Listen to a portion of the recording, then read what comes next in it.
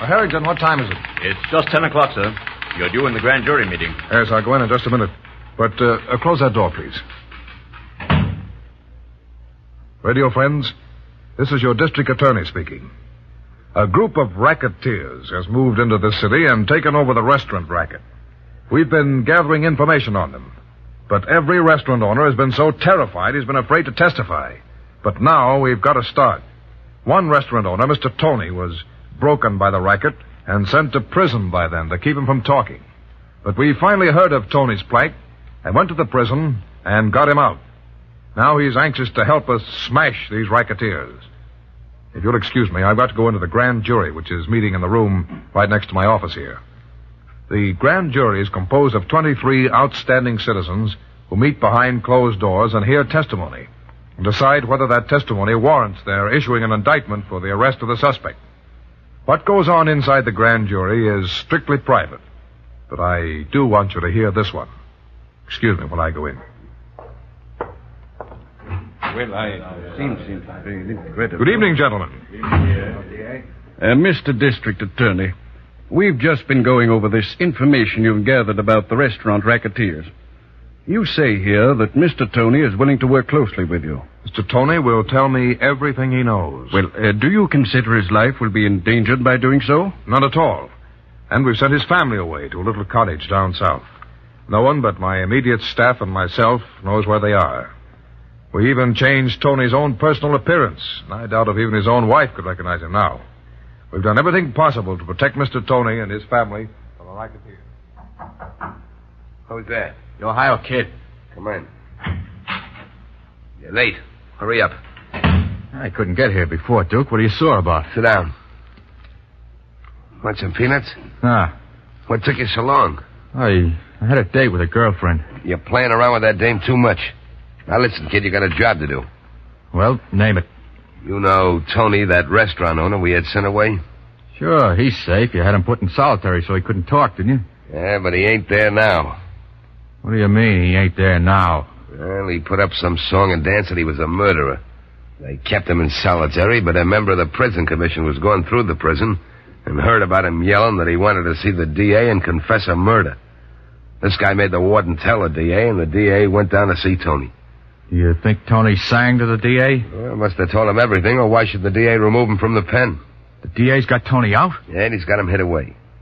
And you gotta find where, kid. Yeah, but can't you give me a steer at least? There's an awful lot of guys in this world, you know. That's your job. What do you think I've been paying you for? For getting guys out of the way, but not finding them in the first place. You do as I tell you, see? Okay. And get him before he spills everything he knows. All right, all right. And another thing. That dame of yours. She knows too much. Ah, she's all right. That's what they all think. I tell you she ain't all right. I'm telling you she'd up and quit you for the first good-looking guy that came along. Uh, what's the matter with my looks? I'm telling you to watch her. Now, that day makes any trouble, you're responsible for her, kid. Just remember, if there's any trouble because of her, I'm holding you responsible. You've got a gripe, Duke. Now, don't you worry about me. I've seen too many guys get double-crossed by a dame and the whole mob suffers with him. I get rid of her, kid. Maybe. But lay off, Duke. You're just gripey today. She's all right for a while. And I'll get Tony for you. Well, you get Tony, and I won't say nothing about the dame. Now, go ahead and get Tony. Right now, they're having a grand jury meeting, and I wouldn't be surprised if they was working on some of the stuff Tony has spilled. Then we would like to have you arrest them immediately, Mr. District Attorney. This grand jury has decided they want you to arrest the men who are going around making collections from these restaurants. Uh, you say in your report here that Mr. Tony will be able to point them out to you. Uh, pardon me, gentlemen, but I believe that would be the wrong approach. The hirelings of a group of racketeers are merely weak characters who do what they're told. They would be harmless if it weren't for the big bosses of a racketeer gang. But if you don't get the big boss, the gang will be operating again within three months. I see. I guess your reasoning is right, Mr. District Attorney. Yes, I think You can arrest and arrest and arrest the small fry. But you haven't got anything when you get through. Just be patient. Gather the right information. And with one stroke, you can smash the entire setup. I see. Well, good luck to you. You do just what you think is best. I'm going out with Tony now to several of the restaurants. He's told me when the collections are usually made, and I hope we'll be able to bump into the collectors. But instead of going out with a warrant for their arrest, we're going out with a camera.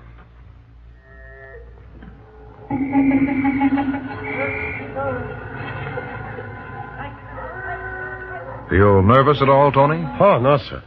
I'll point out the collectors the minute I see them. Think you recognize them all right? Oh, yes, Mr. District Attorney. I paid them enough money. Just call me D.A., Tony. We know each other pretty well by now. I wish I'd known you better before I lost my restaurant. I was a fool not to talk. So this restaurant is Carlos, huh? Yes, he's a friend of mine. He wanted to hire me when I lost my restaurant, but he was afraid to. Harrington, this is close enough. We can uh, Look. see it. Where? He- Those two men going in the restaurant now. They're the collectors. Shall I snap them, D.A.? Oh, wait until they get inside the restaurant, Harrington, and then go into action. If you can, get some good pictures of them while the owner is paying them off. And forget you're one of those camera fiends. Just get as many pictures as you can, in or out of focus. They both carry guns. The heavyset fella hit me over the head with a blackjack one time. Look through this window, Harrington. There's better light. The owner is getting an envelope from the cash register. This'll make a corking picture. Keep snapping, Harrington. Snap all you can. I've got them square in the lens.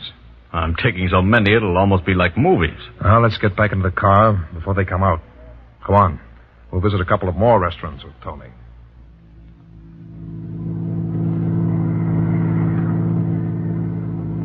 Now, Tony, you've been talking about one of the racketeers, Lucky Lynch. Do you think that he's the boss, the top man of the racket? No, D.A. There's another one they call the real boss, but I never heard them mention his name. I see. Did you ever hear Lynch refer to a boss? Yes, and I heard the Ohio Kid talk about one, too. The Ohio Kid, the gunman? Yes, D.A. The Ohio Kid always came to my restaurant with Lynch before they took it over. They'd come in and force me into a deal, and then those two collectors you took the pictures of back there would come in and collect every month. I see. Tony, do you have any idea where the gang leaders could be found? Perhaps a restaurant that they may have mentioned as a meeting place? Uh, I don't know. I. Uh, yes, yes. I I heard them talk of the Harwich restaurant several times. The, uh, the Harwich restaurant. Know where it is? Oh, yes, sir. All right, you tell Harrington where it is, Tony. I'd like to get a good look at it. Uh, keep headed just the way you are, Mr. Harrington, and then we'll turn to the right a couple of blocks down. So this is the.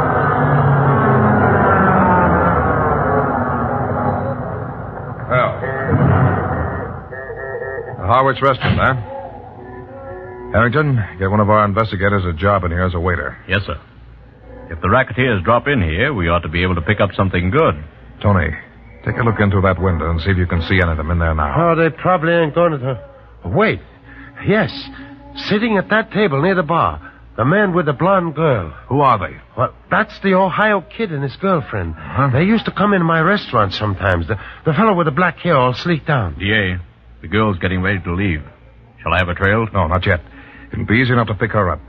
I want to have a little talk with the Ohio kid, though. Oh, don't do it, sir. He, he'd just as soon kill anybody as not. You go back to the car, Tony, and drive it up to the next corner and wait for us there. Harrington, the kid's alone now.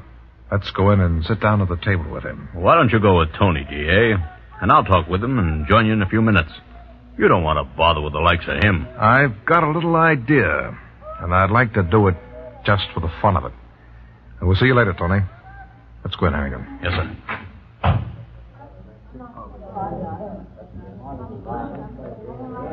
Hello, kid. Who are you? Mind if we sit down? Go chase yourself. I want to be alone. We'll sit down anyway. Have a seat, Harrington. I told you I want to be alone. I don't know you guys. You'll know us soon enough, kid. Hey, if you guys are coppers, you're wasting your time, see? Don't jump to conclusions, kid. Don't you know it's bad luck to drink alone? Is it? Hey, listen, you. Get out of that chair or I'll blow you out. He's threatening us, Harrington. He wasn't expected from such a well-dressed gentleman. That's a nice flower you're wearing, kid. In about one second, you'll get plenty of flowers. What do you want? Kid, this is Inspector Harrington. I'm the district attorney. Does that mean anything to you? Not a thing. You got nothing on me. Of course not, kid. We just saw you here and dropped in to introduce ourselves. What are you drinking? None of your business. I'll discount the remark. Finish that drink, kid. Don't let us stop you. I'm particular who I drink with. I said finish that drink. What's this all about, D.A.? I said pick up that glass and drink. Okay. You don't have to get nasty. Now, you satisfied? That's all, kid. Now beat it. You can't tell me what to do. I said beat it.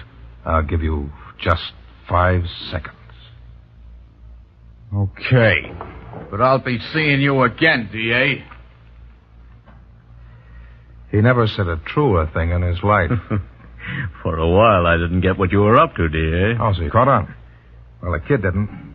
Harrington, wrapped the kid's glass in a napkin and put it in your pocket. I was watching how he held it. There ought to be some good fingerprints on this. We'll go back and have the prints checked. I have a feeling we'll find the kid has quite a history back of him. Hello, Mr. Harwich. Lillian. Uh, how about a little kiss? Came as soon as I could. Told the Ohio kid I had some shopping to do. So I left him at the table, walked around the block, and came in the back door. I know. I was watching you. How could you see? Say, I don't manage this restaurant for nothing. Mhm. Lots of times I like to sit in my office here and see what's going on with the diners. Now look. See this piece of frosted glass? Yeah? I scraped a little off so I could sit here and see what's going on outside. Uh, and you saw me having dinner with a kid. Yeah, and I saw plenty of other things too. Hey, you're pretty smart. That's why I like you so much, Mr. Harwich. Yeah? Suppose the kid finds out. Our lives wouldn't be worth two cents, Lillian. I can handle him. Well, perhaps you won't have to much longer. You know what happened after you left that table? How could I? Two men came over and sat down with him. Who were they? The district attorney and one of his assistants. Did the kid know who they were? I think so.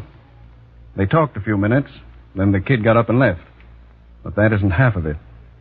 After he left, the district attorney and his assistant picked up the glass the kid had been drinking from. I I don't get it. Why did they do that? Fingerprints. Oh. See, they'll check. And know who he is quick enough. I'll go and tell him. Oh, wait a minute, wait a minute.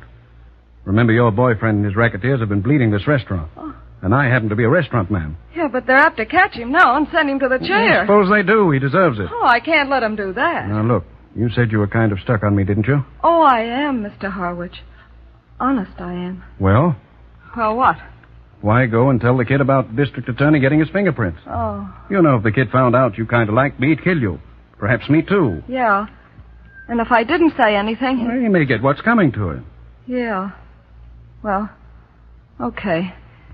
You coming up to see me tomorrow? Well, I don't think I ought to take a chance to go to your place, Lillian. Suppose the kid found out. Oh, he won't, I promise. Bring up some other girl with you or something. We've never had a chance to sit down and talk as two human beings. I've just seen you in the restaurant here, and we don't dare go to any place together because the kid might find out and do something. Well, if you think it's all right, I'll come up. Please.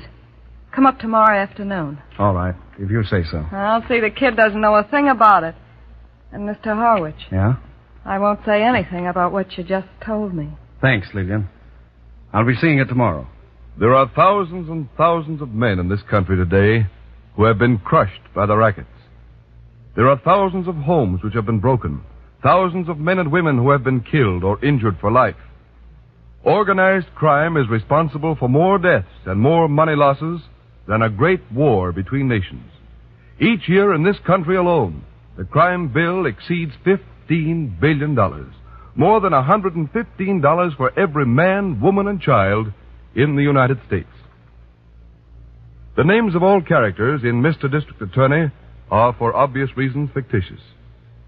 Mr. District Attorney, dramatized by Phillips H. Lord, will be with you again Monday. This is the National Broadcasting Company, RCA Building, Radio City, New York.